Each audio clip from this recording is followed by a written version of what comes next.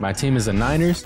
Let's set that set the record straight right now. This is my team right here, the Niners. Thursday's game, Lions and Chiefs. Chiefs ain't got no Travis Kelce. Lions are real underdogs at end of the season super well last year. Gotta go the Lions. Gotta go the Lions. Upset, first game of the year. Yep. Panthers, Falcons. I don't know what the Panthers got going. Y'all know? Shit, nobody knows.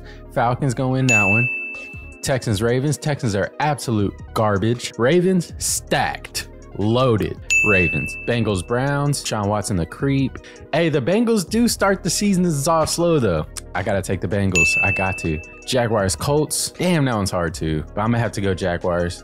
Colts. I want the Colts to win, but I think the Jaguars gonna get that one. Bucks, Vikings. Buccaneers traveling to Minnesota.